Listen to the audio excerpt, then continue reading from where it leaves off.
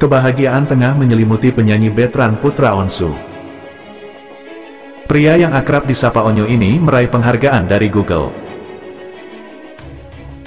Ini menambah penghargaan yang telah ia peroleh di penghujung tahun 2023. Onyo sebelumnya memperoleh penghargaan Best Asian Artist Indonesia di ajang Menet Asian Music Award Mama 2023. Lewat unggahan di akun Instagramnya, Onyo mendapat penghargaan dari Google lewat lagu Cuek.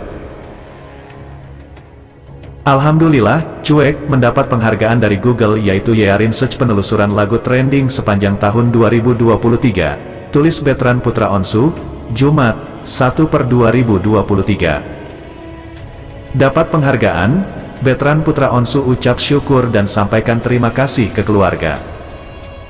Dalam unggahannya, Onyo menyampaikan rasa syukur kepada Tuhan karena telah memberikan banyak anugerah di akhir 2023. Pelantun lagu Kesempurnaan Cinta ini juga mengungkapkan rasa terima kasih kepada keluarga dan para penggemarnya yang sudah memberikan dukungan kepadanya. Untuk almarhumah mama, ayah, bunda, putri, Rizwan, Ferdi, Ed Ervas Musik dan seluruh tim yang terlibat di setiap proyek-proyek Iki, terima kasih supportnya yang luar biasa, tulis Onyel. Raut wajah penyanyi Betran Peto berubah saat mendengar candaan komedian Andre Taulani. Putra Ruben Onsu dan Sarwenda itu disebut begini.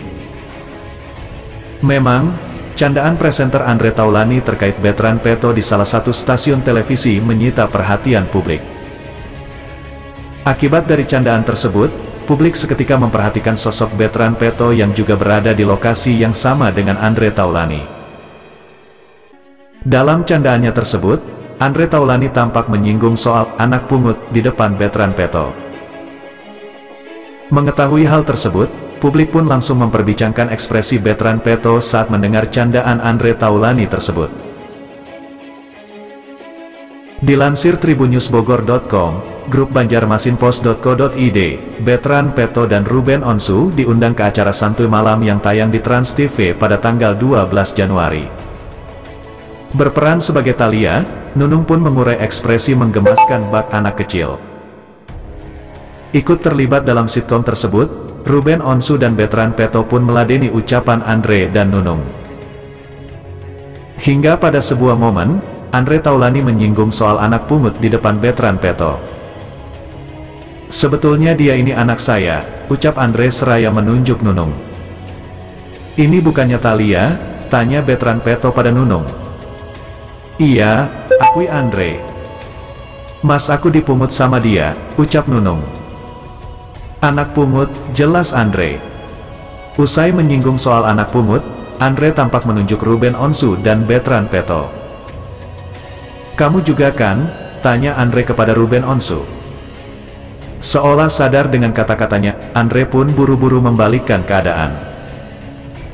Sebab pasca Andre berujar soal anak pungut dan menunjuk Ruben Onsu, raut wajah Betran Peto berubah pilu.